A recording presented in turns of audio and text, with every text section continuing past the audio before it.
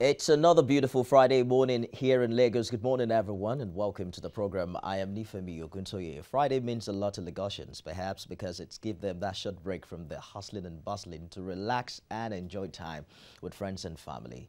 Even though for some people the hustling continues even on weekends. Uh, well, it's just 10 days into the year and already our attention is turned to the issues of national security. Just last night, our Kaduna State correspondent reported the abduction of some four uh, young men in a seminary in Bayelsa State. Already, the abductors have reached their parents and uh, they are saying they will call back to let them know uh, what will come next. I also recall that I spoke with our correspondent in Ondo State a few days ago who mentioned that about three abductions have already taken place in the first seven days of the year, even right here in Southwest. Now, recall that six months ago, the six governors in this region came together uh, at a particular security summit organized by the Development Agenda for Western Nigeria to discuss uh, issues following Syria killings in this area. We recall issues of kidnapping, gunmen suspected to be headsmen last year in June had killed Funke Olakunrin, a daughter of the Afenifere leader,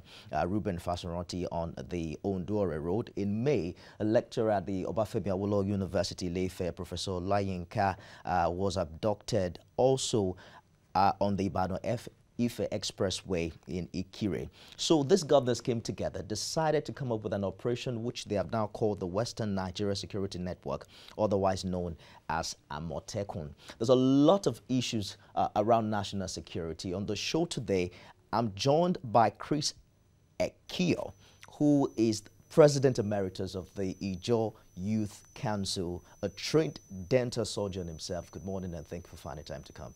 Morning, I, I really wonder how you marry, you know, dental surgery with um, youth activism and all of that. I'm also joined by a senior colleague who is a journalist, veteran, Wale Adeoye. Thank you very much for finding time to come. Well, since you are here, let me begin very quickly to identify the fact that it appears abduction is no, no region of the country now has a monopoly of abduction. They say the Southwest have learned very well from the region where you come from. But let me begin very quickly before we turn our attention to the Southwest to find out what your thoughts are as President Emeritus of the Ijaw Youth Council about how the amnesty program has performed in the past uh, 10 years thereabout. The SA to the President recently had called for a comprehensive audit of the 10-year program. They are saying it's, it's the same 30,000 people who began, who are still there. Some of them, he's, he particularly mentioned that, is it that no people or no person died in the past decade? How do you react to just how well it's performed in the past years? Well, um, this morning, you know, we're talking on security, and mm. I think the entire amnesty program itself is, is hinged on security of our nation. Um, um, fast forward, I mean, rewind to 10 years ago, the, the, the, Niger Delta was the boil of conflict, and the kidnappings, the killings, and the, the abductions were high there. The amnesty sort of was a window where we, we were, I was president then, so we were able to get people out and then recalibrate them and debrief them. Uh, looking back 10 years, we all have our misgivings. Did we get it right? It's something wrong? Uh, why, really, why, why do we have to spend 5 billion every month uh, to, to, for the same number of people? Uh, nobody is being settled out, out, phased out of the program over a period of 10 years. Now, that would be uh, questions for the managers of the program currently to answer because uh, the program had a blueprint that had four prongs. The, the, the, the what you call demobilization, debriefing, reintegration. And of course, the last point, which was the investment point of it, which, which cost the government then to create the Niger Delta Ministry and then to provide what you call the 10% equity uh, in the uh, NNPC from the JV so that that can go straight to community development. And then also um, the security outfit, which then was supposed to be the Coastal Guard.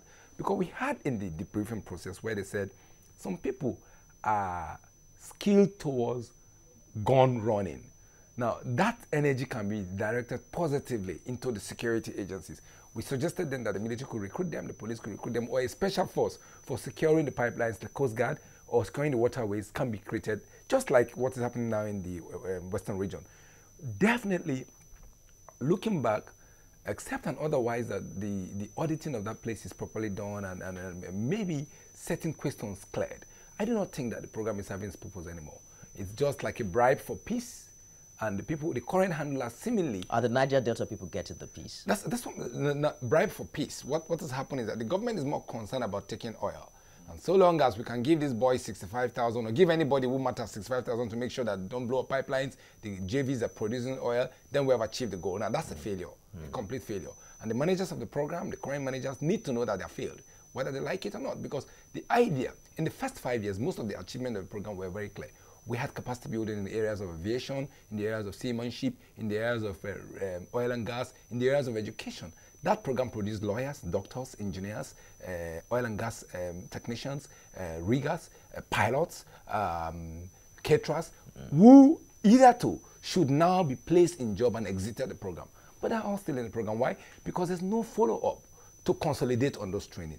In these last five years, I do not know whether there's any training going on. I cannot see anyone. I can see vendors complaining that they, they have been given delegates to train. They have not been mobilized to do the training, and those who have finished training have not been paid. So then I've seen vendors complain that they have been asked to build, to do what you call capacity building, and then create entrepreneurship for those who have been trained, and they're complaining every day. I see delegates themselves saying they don't get their stipends anymore. So there's a confusion.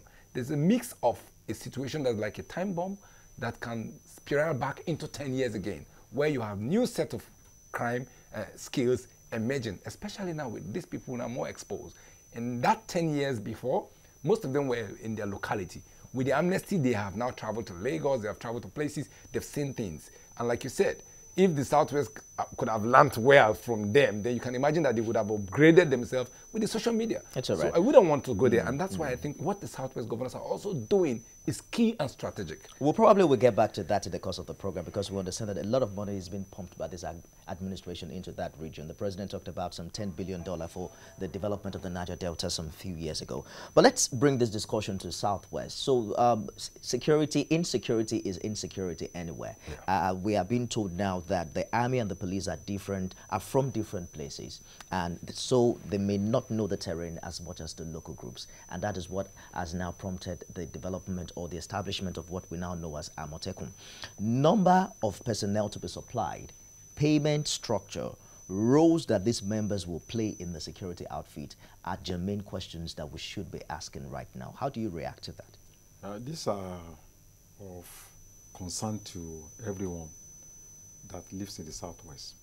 But let me say that the idea of Amotekun is a component part of the strategic roadmap developed in around 2011 by the um, Southern, uh, by the by Dawn Development Agenda for Western Nigeria, which was established after a retreat by Yoruba uh, elders in uh, around 2000 and some years back.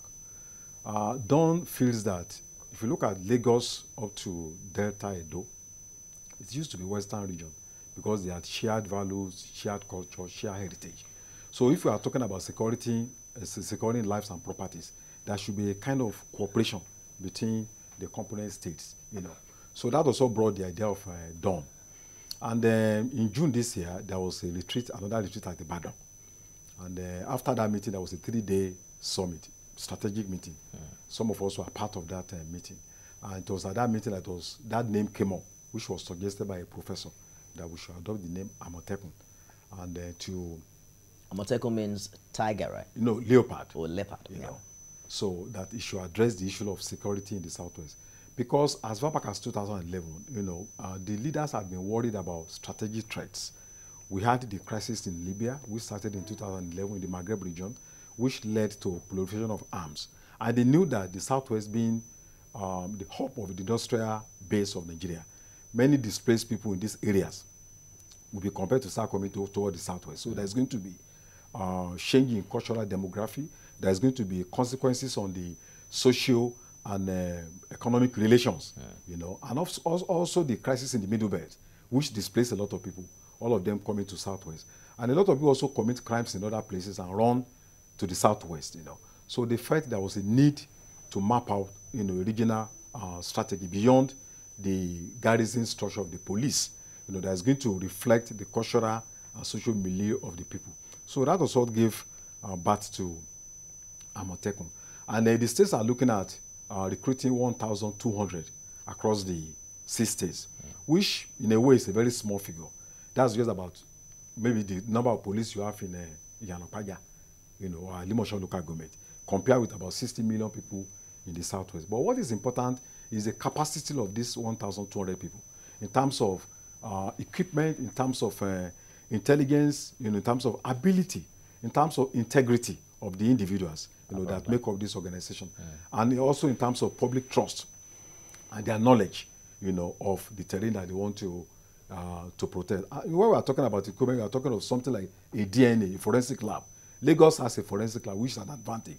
It means at a crime scene, a strand of air, you can take it to that DNA, analyze it, and discover the kind of person that is responsible for that kind of crime. So I think the issue is not about the population of people, which is just 1,200, but the capacity and the level of training that will be given to this individual. So I think it's a very welcome development. But I also think beyond that, um, the governor should be thinking of cooperating with governors of Southwest. Okay. Because people commit crime in Southwest, you know, who are Yoruba people, and they run to South, uh, South South. The same people commit crime in South South and come, you know, to Southwest. I read in a paper sometimes ago, Sokoto state government had a part with Niger Republic because there were, you know, you know cross-border crime.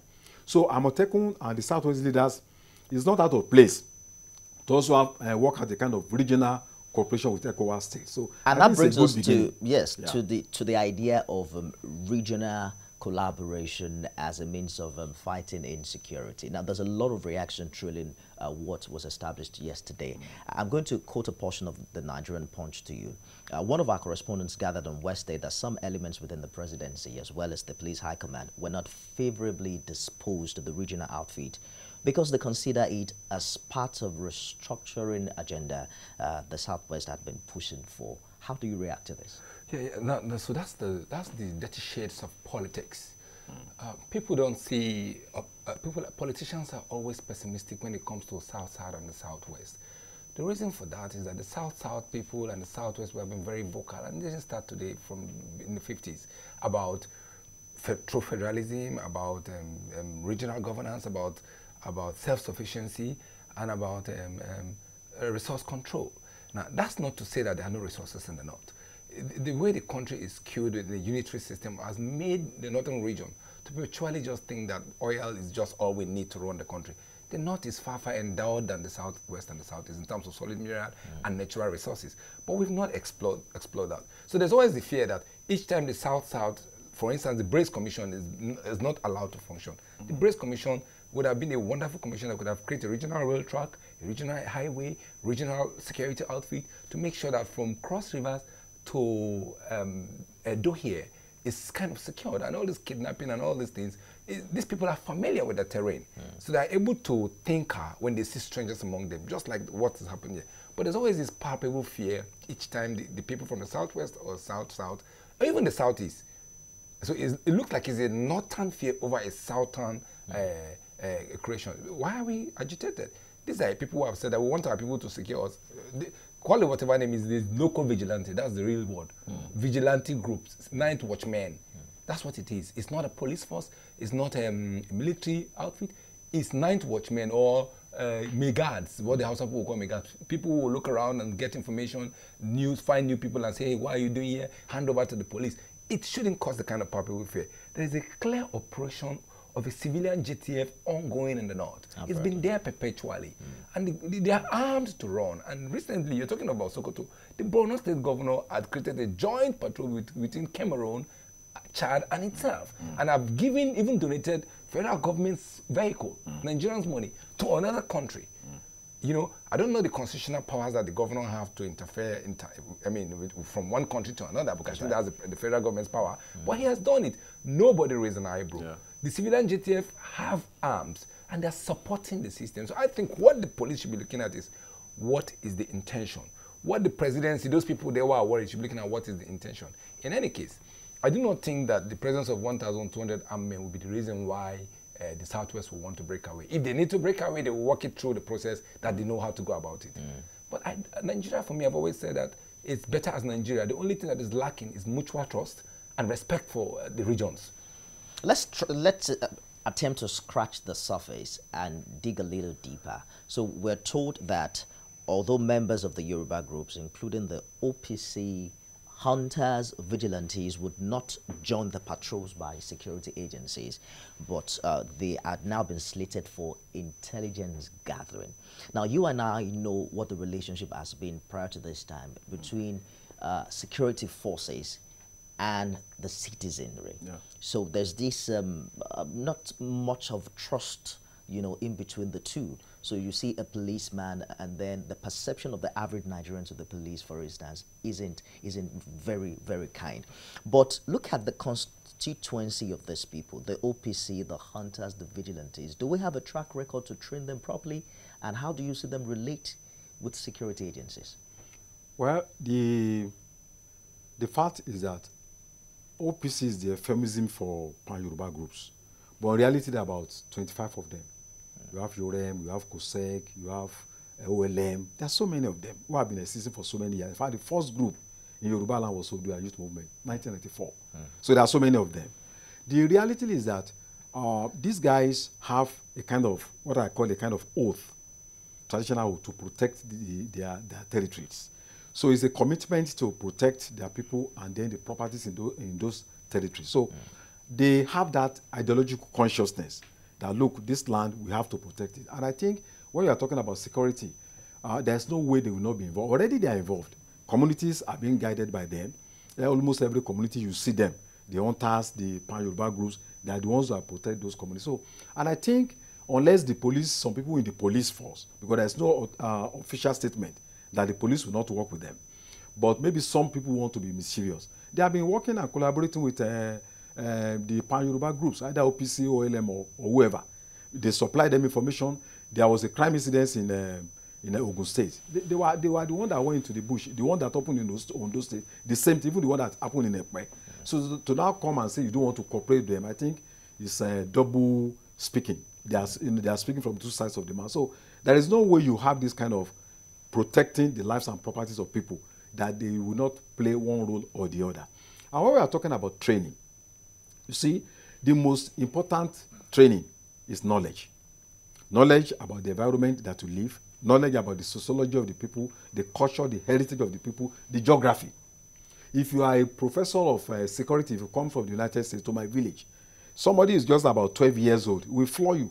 Or you go to, um, you know, Patani, or you go to uh, Ekeremo, and then somebody is just 20 years old. You say you are a professor you you know the terrain. He will he will he will floor you because he was born there he was raised there. He will go inside water and spend about one hour. You will still be writing papers. You understand it so when we are talking about knowledge there is no way you the knowledge you have you acquire in in the university or in the police can surpass the indigenous knowledge that people have about their environment. Absolutely. the way we are not talking about training in terms of intelligence gathering.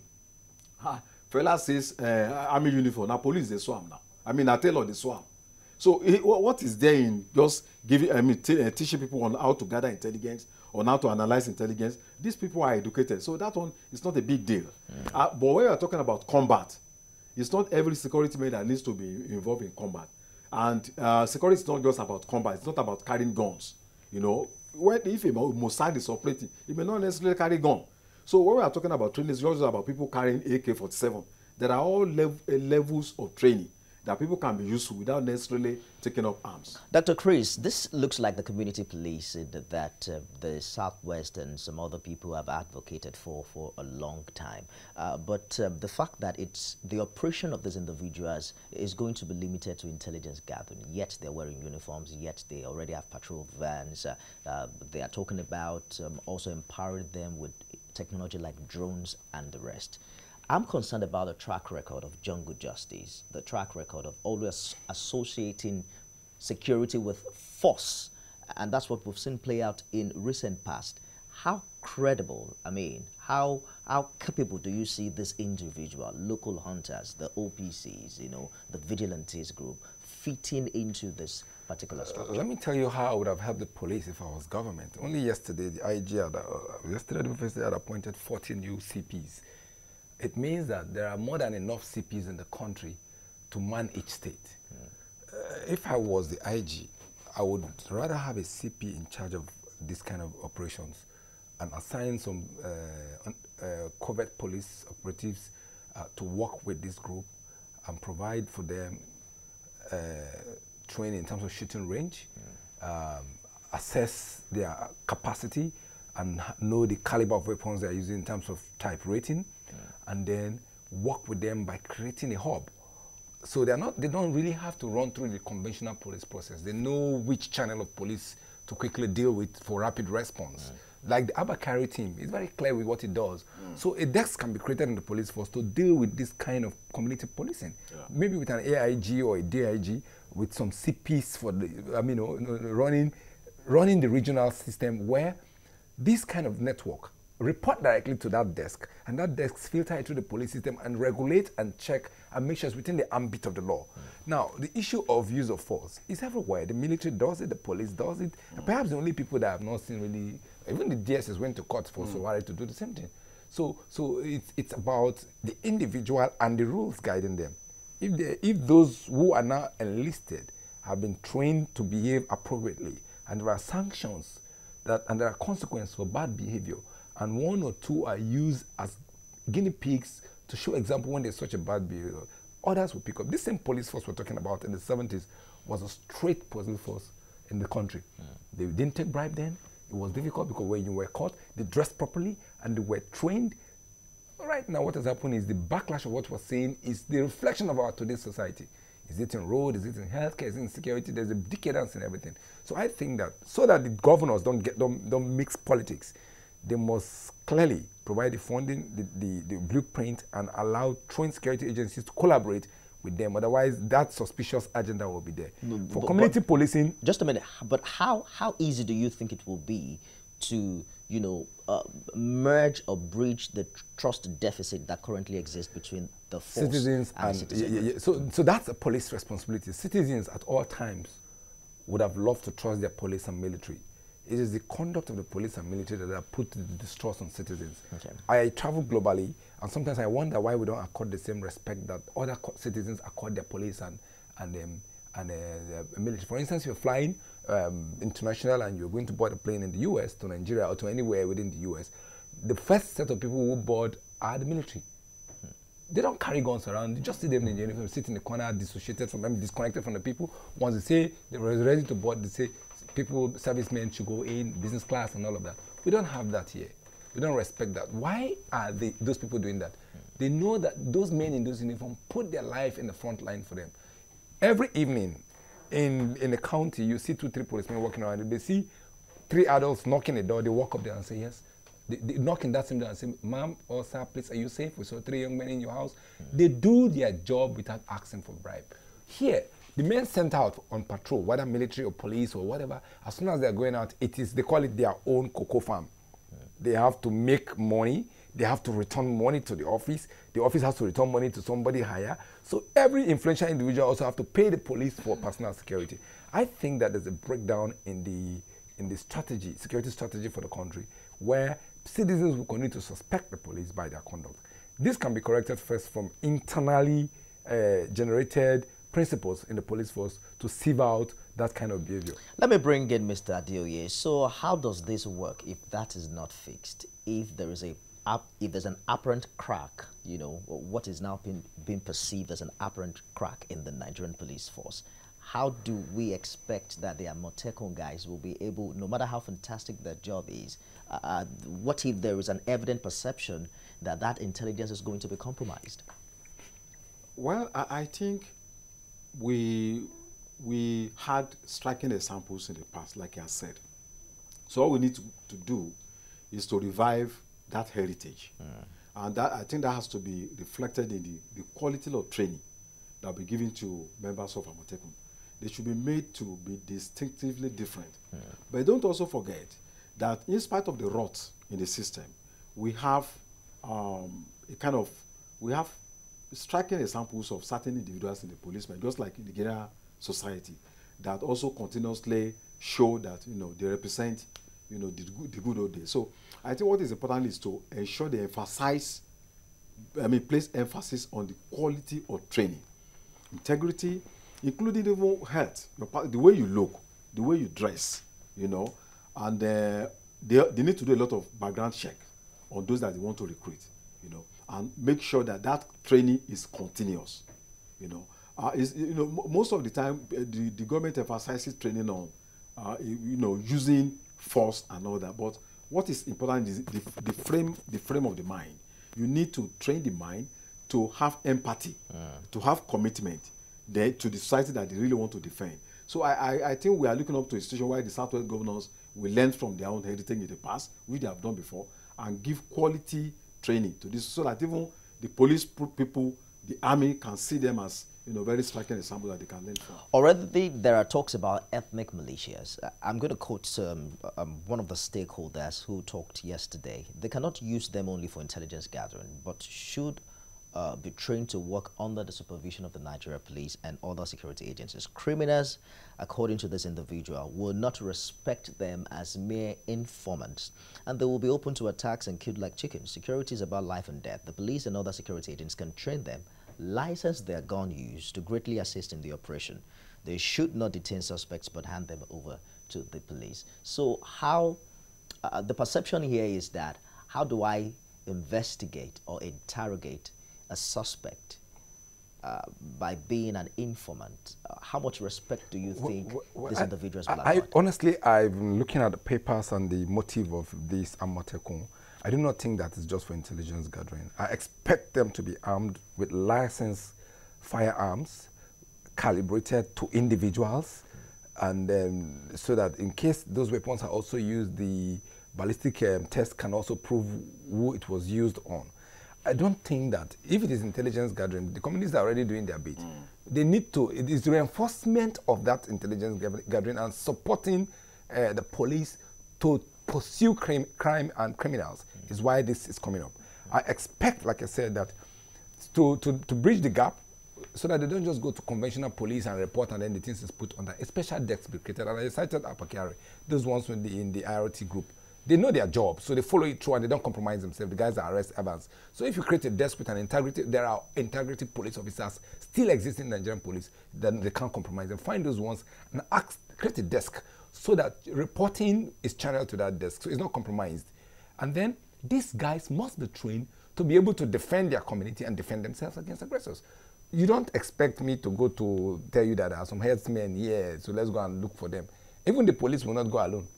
So that local intelligence, it's what will reinforce that, that will motivate the police to go with even those people. If those hunters and those um, local uh, guards are saying we will go with our community because there's what you call compassion uh, it's my community, so I can't. I have no other place to go. So I rather stay here, fight and die, than run away. We'll push these guys to stay and protect their community. It will strengthen a policeman who probably initially was afraid to say, if these civilians who are just not as trained as me can do this, and braving this person up, and that's what happens in a war situation. Mm. What we have in our country is some kind of clandestine local wars, pockets of wars in every sector of the country that we are managing in a way. So I think that the most, I agree with this writer, they must be trained, censored, uh, with certain low caliber weapons that at least can put up a resistance before the military can come in place. Otherwise, uh, I don't think it's going to survive it. But I think they're already doing that because if you provide them with security vehicles, you must provide them with security gadgets. If you're talking about drones, you should be able to have pump, pump actions mm. to, to support those drones. All right, let's take a short break here. When we return, we'll turn on the phones and get reactions from uh, the viewers. Stay with us and don't go away.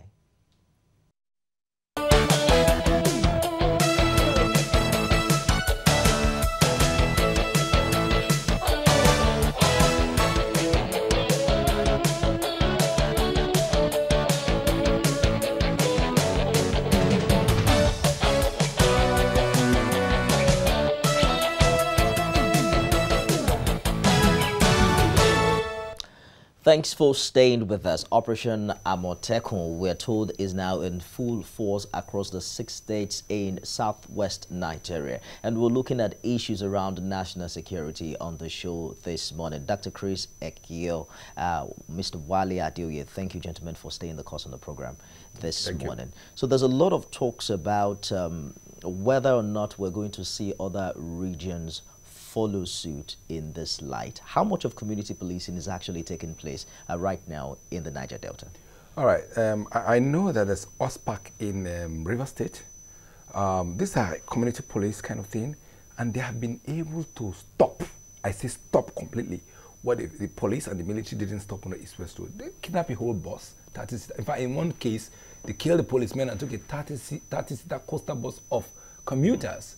And it was on and on, and the River State government decided that we need to take our destiny and they mobilized their community youths and the communities. And then uh, Wike read this riot act. And then the communities went and, like you said, they took local oaths. These OSPAC guys in River State went into the den of those people because they're familiar with the bushes. You can't come to our bush and control our bush for us. They went in, they got locals who were conspirators, who were kidnappers, arrested them, handed over to the police. Some died in the custody of the police, you know, shootout. They went, got headsmen, evacuated them from the point, and the road is seemingly safe. If they are sustained and maintained, and they continue to work in collaboration with the police, they'll be able to weed out these killings that's going in reverse. In fact, the one that the guy, there's a guy who was busy killing girls in hotels, they mm. tracked him down. Mm. Now, oh, that was a work of the local vigilance. Yeah, local, they, they, they, track information. Mm. Now, in my neighborhood where I have a hospital in Port Harcourt, if your teen is missing, just go to OSPAC. The next day they find it for you. Interesting. Because they just call it. So you're saying that, that it, it's it's working in that region. They call the people that they know how we do this kind of thing. They call one of their leaders and say, look, we will take you down if you don't find it. That, that one will not sleep. He will start running around until he finds information. And let's take let's take this call from Benue State. Good morning, Emmanuel from Otukpo. Good morning, Nifemi. Glad to have you call. Good, good, morning to your guests in the studio. Good morning. Good morning. They are, do, they are doing a very good uh, job on this program. Thank you. Um, I want I want to commend the people of the Southwest region for this uh, operation Amotekun. Uh, let all the naysayers please hold their peace and let all the pessimists watch and see as this program will turn and be successful. You see, we need programs like this in the six regions so that we can checkmate the nonsense that is happening in the country. What is happening in Northeast is a disgrace, a national disgrace. I don't expect, I didn't expect that it could last this long. We have soldiers, we have all the security agents and the police, and it is lingering on like this. I don't think it's fair. But if we have uh, people like this Amotekun in all the regions, they will easily pick out the criminals and nip every, every crime at the board. What I want to advise the governors is the members of uh, Operation Amotekun, they should be placed on oath under Shango.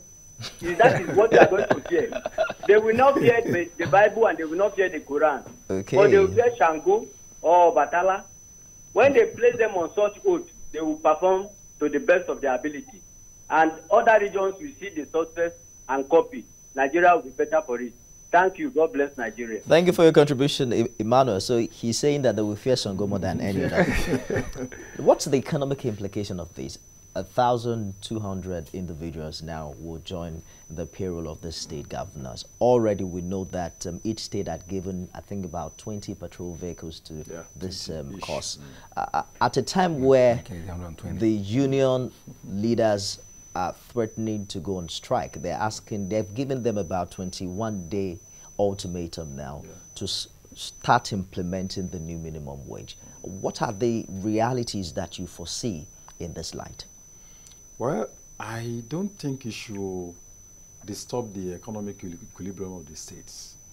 Um, each state is going to probably 250 men. Okay. You know, and um, most of them or some of them will not be full time. For instance, if you are a petrol attendant, you can be you can be into intelligence gathering. Mm.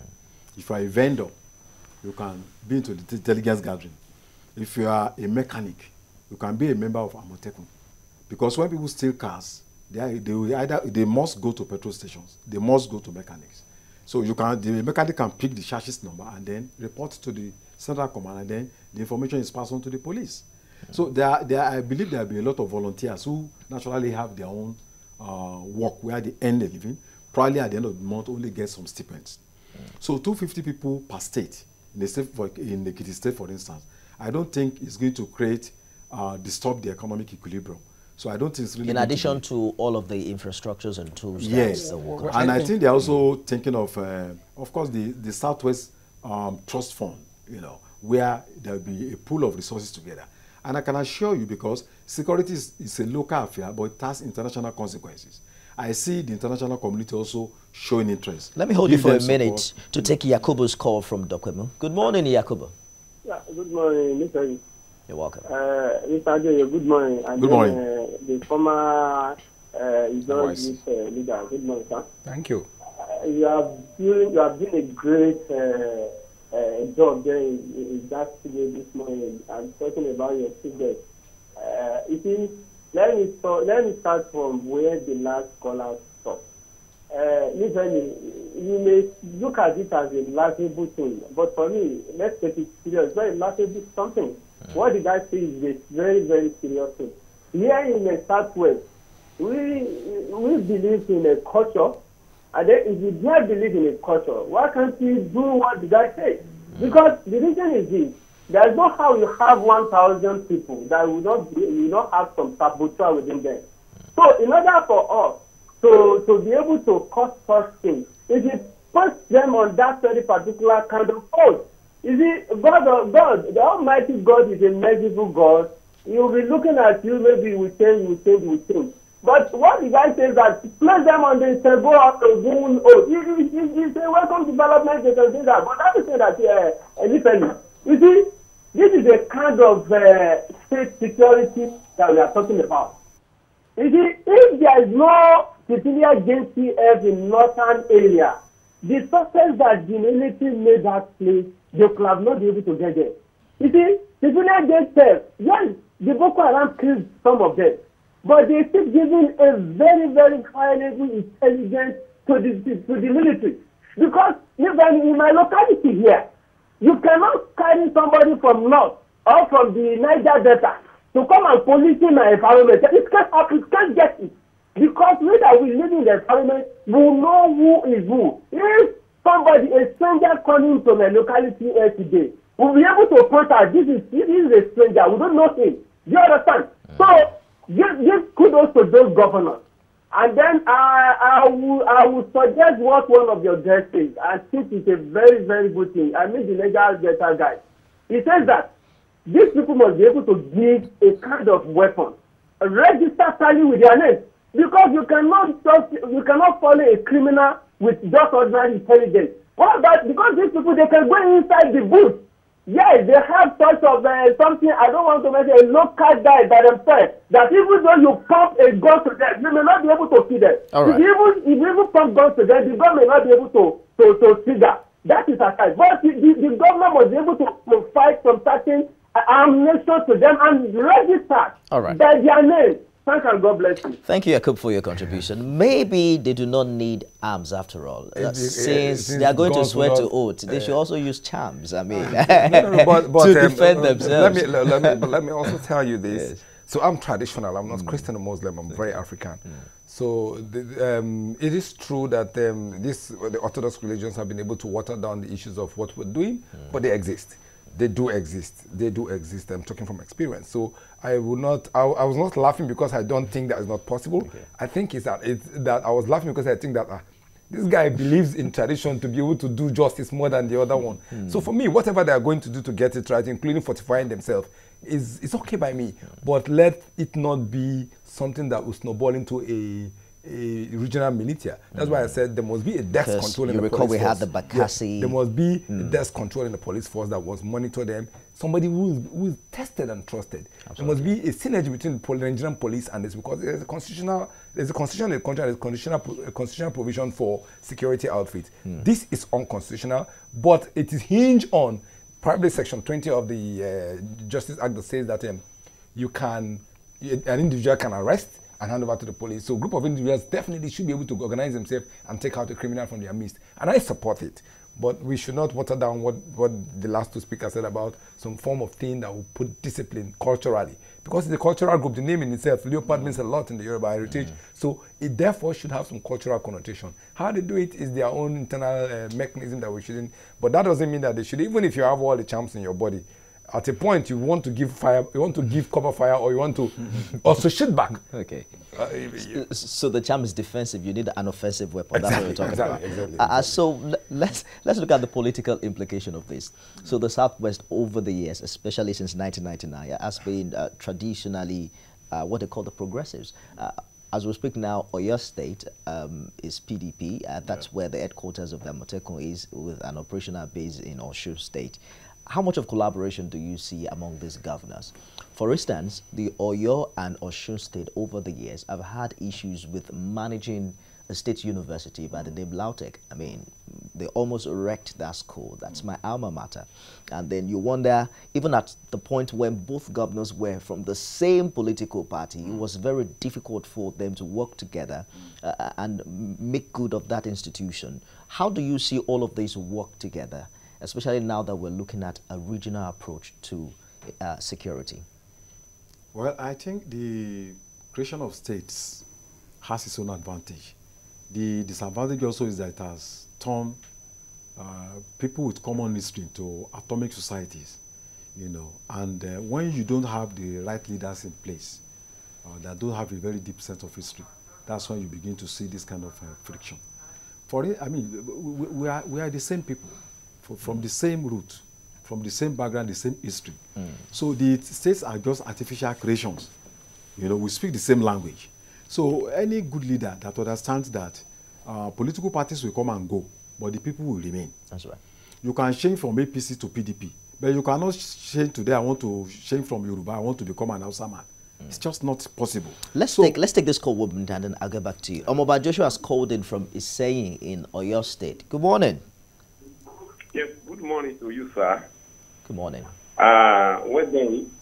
You are doing very wonderful work there. Thank you. Uh, God bless you this morning in the name of Jesus. Amen, Jesus. Um, I want to commend the governors of uh, the Southwest for this uh, great thing they are starting in the Southwest. Uh, but I want to beg all uh, citizens of uh, the Southwest to cooperate with uh, the, our governor to make sure that this uh, uh, succeed in our region. This morning, in my family, in my house, during our morning devotion, I led my family into prayer for our governor because of this and the members of the Amotekun group. Because I know uh, what Nigeria is. Look at Nigeria police. When Nigeria police first started, they were very wonderful. They said Nigeria police was not doing good. They gave some of their work to road safety. We know when road safety started, they were wonderful. We know what road safety is today. They gave the job of police to the custom. When custom started, they were wonderful. Look at what custom is today. Immigration and the rest of them. So I'm a I'm a techno. Uh, the work they are giving them now is the work that police are supposed to do, but because our police are not uh, are standing uprightly, and that's why they are giving them this job. We, we, uh, the Bible tells us in Psalm 127, verse 1, that unless the Lord watch over the city, the watchmen, they stand guard in vain. I want to beg everybody to pray for our governor, pray for this Amotekun, that they will succeed. All right. They will do well. We are living in fear in Southwest, except we want to deceive ourselves except go to this aspect. So they need our support. I can All right. see from your link now that yes. some people are already criticizing them. Mm. They're already saying it's uh, something to our nation. Leave them. Leave I them. think you made your point, Omoba. That's how much time can permit us. The Lord must be ready to work with Sango on this one, from yeah, what we've heard from previous callers. So you are quite optimistic yeah, that I'm, I'm these governors can work together. Yeah, Just to buttress what he was mm. saying, yes, the security challenge does not have shades of parties. Mm it, it cuts across all parties and all colors and all tribes. What's good for Southwest is good for South South. It's good for Southeast. It's good for uh, North Central. Uh, just the, the geopolitical reasons. Mm. I also do not agree that it's because the police uh, couldn't do the job. That's what I'm. You know, I mm. think that there's a shortfall in the manpower of the Absolutely. police. Mm. So that gap that exists is what. But yet to meet the UN benchmark, uh, benchmark in that regards. But let's turn to the South South and see whether we can learn one or two things. So yeah. we've seen a program. Uh, we talked about the amnesty program earlier in the course of the show, where federal government was paying a group of people for a period of time, trained them for a period of time. Um, not exactly the same thing, but we're going to see some state government involvement in training these individuals and also perhaps pay them some stipends. Did that automatically resulted in some sort of loyalty, patriotism, and commitment on the part of these young people who were involved? Okay, so what is common in these two is uh, between the Niger Delta and here was the security unrest and um, loss of lives and properties. Whereas in this case, invaders and local criminals are threatening here. In that case, indigents took up arms against government and then it spiraled into a Robin Hood kind of thing where they begin to fight themselves and destroy mm. communities and kill people. And we needed to stop that. So uh, why did amnesty come? If we were able to take the guns without getting an amnesty, they would be prosecuted for crimes against the state. Mm. So we had to put the amnesty caveat so that they can turn off the guns. Now, the federal government also knowing that a day loss in oil is is less it's, it's, it's not what they're spending to manage the boys in one year is not it's, it's, it's not up to two weeks production. So a day loss in oil will affect our economy. So it's for economic gain that the federal government got involved. However, the states also played their role. Governor Oduah then, um, Governor Sylva then, and uh, particularly Oduah and Sylva were very, very much key in, in ensuring that the, the, people in the creek had confidence in governance. And of course, the presence of the then uh, vice president was Jonathan from the region, reassuring them that the federal government will grant this amnesty. And of course, we must give credit to the president Yar'Adua, who took the bold step against, just like this, it was, it was kicked against by the security agencies, but he took the bold step against the security agencies to, to move it forward. I can tell you that those kind of crime that were arising from that trade do not exist that much anymore. So the people who kidnap now are doing that from the sidelines, like it's happening everywhere. Mm. It's like a national crime. The then the herdsmen wahala is there. Then you have the bunkering, which is now thriving because there's a conspiracy also between the security agencies and the local bunkers. There's always a conspiracy theory. So that's what I think the pastor is trying to say that uh, that let's hope that this Amotekun will not begin to conspire regardless of how it's done. For me, the amnesty and the Niger Delta program was a blueprint that government should develop on in terms of resolving conflicts in the area. Now, it could not be by paying stipend, it could be by means necessarily that will build people's capacity to be entrepreneurs in themselves. All right. And that's how I look at it. Let me bring in Okorafo from Arochukwu. Good morning, Mazi. Good morning, Mr. Anife. Good morning, gentlemen in the studio. Good morning. Good morning. Honestly speaking, uh, gentlemen, uh, my brother Anife and the, the men in the studio. The new security outfit the governors brought is a wake-up development. Very, very. But what we should know that the staff must be trained and retrained quarterly, and the outfit have to be maintained. Payment, payment is very, very important because we are good in good policy, but in terms of implementation, it's always the problem. And the character of the people we are going to employ to work in that place also matters. Mm. Now, in those days when I when I when, when, when I, I was doing the service, if you go to Bauchi to Jos, there was a sort of a vehicle. Like let's say for example Lagos and Ibadan. There must be a vehicle that is one is coming from Ibadan, one is going to Lagos, one is coming from Lagos. The internet they be passing by. that the moving day in day and two four seven. It's not a question of the, the short uh, television uh, show just abracadabra, just show television with vehicles. At the end of the day, they will just go and pack those because your gas will just carry the vehicles and go and keep and be feeling uh, funky. No. All these vehicles should be on the road 247. And the people in response in terms of fueling, that it's not a question. Now, if you look at Niger data issue and this one, there are two different things. Niger data issue is different from the security act because Niger data, the young men there and the young there, we're talking about the resources. Mm. But this one, in terms of kidnapping and this, so there are two things. Niger data and uh, uh, uh, is it uh, about to quote is different. They are two different things. So we have to look into the two things that they are not the same thing. Absolutely. Because in Nigeria, we are good in good policy, but mm. the question is implementation. And they should bring in people that are ready, carrot, artisanal people that have cooker. Not all these boys that drink ogogo and drink ekpotese. Mm. Bring all this nonsense, drink careful. When they come after drinking, they just sit down in the car, be smoking all their, the, the latest weed in the market. Mm. No, the two bring in such include such people. People, there are a lot of graduates that are ready to do that type of job. Yeah. All right. As long as they will be paid, I bet you you get good people that not to go and recruit all these boys who take all this ogogoro, all this nonsense. I think you made a point. Glad to have you call. So we've heard from the development agenda for Western Nigeria who are saying that they are committed to employing educated people. I'm hoping that we get educated people amongst um, all of the groups that we've mentioned earlier. But again, attention is now being turned to the role that citizens must play in security. You know, prior to this time, we always look up to the security forces to do the job. Yeah. But the bottom line here is that if we're going to be safe, everyone must be actively involved, must not be scared about reporting, yeah. you know, suspicious movements in their areas. Just how ready do you think uh, people in the Southwest are to welcome and embrace this idea? I think this um, Amotekun has been, is enjoying a kind of uh, public goodwill, mm. you know, um, generally, at least up to 90%. And I think people are most likely to have trust in someone they know, someone they know very well, someone they have lived with, someone that they speak the same language, somebody that they trust. They have related with such individuals for years, so they know them. Mm. Than someone that's you know just came maybe from nowhere. They are meeting for the first time. You know, so I believe the people on their own uh, have shown uh, enthusiasm towards this project. And you are optimistic that they will support. That they Let's take our last call on the show this morning. Good morning, Oladipo from Ado-Ekiti.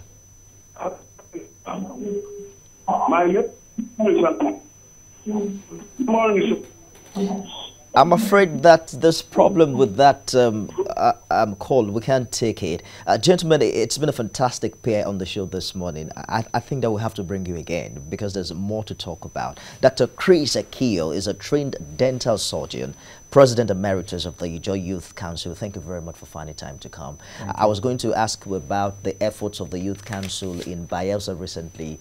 We understand that there was a protest where they shut down the PHCN company and yeah. there are talks to bring back light. Uh, in one minute, how well do you think such advocacy is going? Um, not much of force or violence, but um, civil called, protest. It's, it's, called, it's called non-violent direct action. Okay. Yeah, you, you must ask questions. First, the, the, the, the, these people now who run the electric companies inherited uh, equipment and gadgets and power and gas from the, the government, from taxpayers' money. They don't supply you light. They bring it for a day or two, then they go in and cut it out. But how's that effort coming? And, and so, Is so, there so, light, light now in so, Yenagoa? So, there's, yeah. there, there's still there's still a sit tight until okay. that light electricity okay. comes. And we have to leave it there and find some other time to discuss this. Uh, senior colleague, veteran journalist Wale Adeoye, thank you very much for finding time thank to come. Gentlemen, I thank you so sincerely for coming. That's our show today. Thank God it's Friday. Uh, no show on Saturday and Sunday. I mean, we can go back home and relax. We'll be back next week, God willing. On behalf of Uncle Yuri and the entire production crew, we say a big thank you. I am Nifemi Oguntoye. God bless the Federal Republic of Nigeria.